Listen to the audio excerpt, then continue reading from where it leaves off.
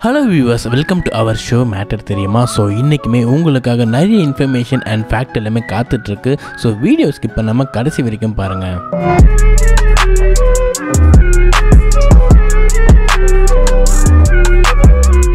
Star Wars படத்தில் ஏடான்னு ஒரு character இருக்கும். ஸோ அது பார்க்குறதுக்கு பார்த்தீங்கன்னா க்ரீன் கலரில் பெரிய பெரிய காதுகள் கொண்ட பூனை மாதிரி இருக்கும்.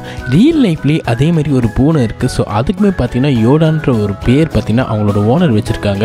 ஏன்னு பார்த்தீங்கன்னா அந்த பூனைக்கு வந்து நாலு காதுகள் இருக்குமா? ஸோ ரெண்டு காது இருக்கிற பூனையே பார்த்தீங்கன்னா பயங்கர அலாட்டாக இருக்கும். இது நாலு காதுகளோட ரொம்பவே அலாட்டாக இருந்து எல்லா டிஸ்டன்ஸ்லையுமே இருக்கிற விஷயத்தெல்லாம் அப்படியே உன்னிப்பாக கவனிக்கணுன்ட்டு அவங்க ஓனரே சொல்லியிருக்காங்க. பூமிக்குள்ளே இருக்கிற எல்லா இடத்துக்குமே பார்த்தீங்கன்னா கனெக்டிவிட்டி இருக்கும். ஸோ அதாவது ஒரு இடத்துலேருந்து இன்னொரு இடத்துக்கு போகிறதுக்கு ஹைவே வந்து கட்டியிருப்பாங்க. ஸோ அதே மாதிரி ஸ்பேஸ்லேயுமே பார்த்தீங்கன்னா ஹைவே இருக்கான் அது பேர் பார்த்தீங்கன்னா இன்டர்பிளானட்டரி சூப்பர் ஹைவேவா அதாவது சோலார் சிஸ்டத்தில் இருக்கிற ஒரு பிளானட்லேருந்து இன்னொரு பிளானட்டுக்கு போகிறதுக்கு ஈஸி வழியாக வந்து ஒரு ஹைவேவை பில்ட் பண்ணியிருக்காங்களாம்.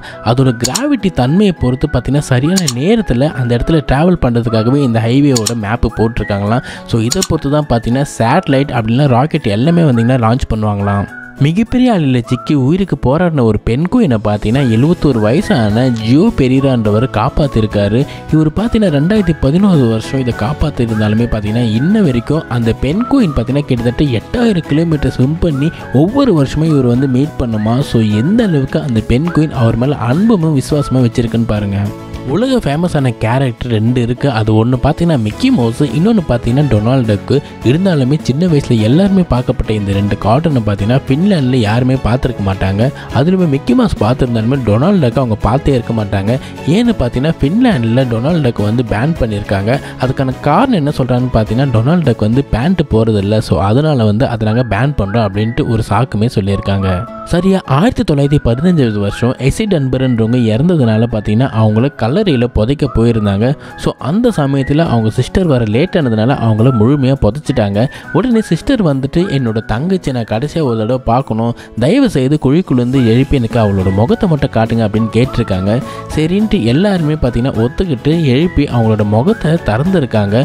உடனே பார்த்தீங்கன்னா அவங்க சிரித்த மாதிரி ஏந்து உட்காந்துருக்காங்க ஸோ அவங்களோட சிஸ்டர் வந்து ஒரு அட்டாக்னால இறந்துட்டாங்கன்னு நினச்சி அவங்கள புதைச்சிருக்காங்க. ஆனால் அவங்க அதுக்கப்புறம் உயிர் பிழைச்சி கிட்டத்தட்ட நாற்பத்தேழு வருஷம் 浪 உலகத்திலேயே எல்லாருக்குமே இருக்கிற ரெண்டு பிரச்சனை இருக்குது ஒன்று பார்த்தீங்கன்னா அக்கல்லேருந்து வர வேர்வியோட ஸ்மெல்லு இன்னொன்று பார்த்தீங்கன்னா சாக்ஸு போட்டால் வர ஸ்மெல்லு தான். ஸோ இது ரெண்டுமே இல்லாத ஒரு மனுஷங்களாம் இருக்காங்க.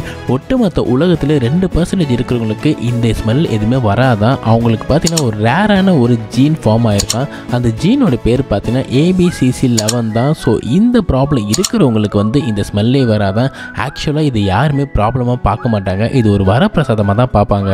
பாலிஷ் நாட்டை சேர்ந்த ஒரு டீ டீனேஜர் பொண்ணு தான் பார்த்தீங்கன்னா எங்கா ஜெசிகா? ஸோ இவங்களுக்கு வந்து பிரெயின் சர்ஜரி நடந்திருக்கு.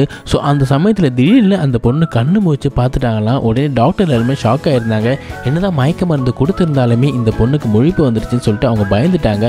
ஆனால் அந்த பொண்ணுக்கு எந்த ஒரு வழியுமே இல்லைன்னு சொல்கிற மாதிரி டாக்டர் கிட்ட வந்து எப்படி ஆப்ரேஷன் போயிட்டுருக்கு அப்படின்ட்டு கூலாக கேட்டிருக்காங்க. உடனே டாக்டர்ஸ் எல்லாமே ஷாக் ஆகி அந்த பொண்ணுக்கிட்ட வந்து ஒரு பூனையோட கதையை பற்றி பேசி எப்படியோ அந்த சர்ஜரியை கம்ப்ளீட் பண்ணிட்டாங்களாம். ஸோ அது வரைக்கும் அந்த பொண்ணு கண்ணை மூச்சு தன்னோட சர்ஜரியை ஃபீல் பண்ணி பண்ணிட்டு இருந்தாங்களாம் வைரஸ் கிருமிகளை நம்மளால் கண்ணில் பார்க்க முடியாது. இதனாலேயே எக்கச்சக்கமான வைரஸ் நம்மளை தினம் தினம் தாக்கிட்டு தான் இருக்குது அதுலேயுமே எவால்வான வைரஸால் தான் நமக்கு பாதிப்புகள் ஏற்படுது. இது வரைக்குமே பார்த்தீங்கன்னா ஹியூமன்ஸ் வந்து நிறைய வைரஸை வந்து உள்வாங்கியிருக்காங்க. அதுலேருந்து அவங்களோட ஆன்டிபயோட்டிக் அதாவது எதிர்ப்பு சக்தியால் அவங்க விண்டு வந்திருக்காங்க. ஸோ இது வரைக்கும் ஹியூமன் பாடியில் இருக்கிற டிஎன்ஏ எல்லாமே பார்த்தீங்கன்னா எட்டு சதவீதம் வந்து வைரஸாலே உருவாகியிருக்கான். அதாவது ஆதி காலத்து மனிதனுக்கும் நமக்கும் கம்பேர் பண்ணுறப்போ நம்ம உடம்புக்குள்ளே எட்டு பர்சன்டேஜ் வந்து வைரஸாகவே இருக்கான். இருந்தாலுமே நம்மளுடைய எதிர்ப்பு சக்தினால நமக்கு எந்த ஒரு பெரிய பாதிப்புக்குமே இல்லை.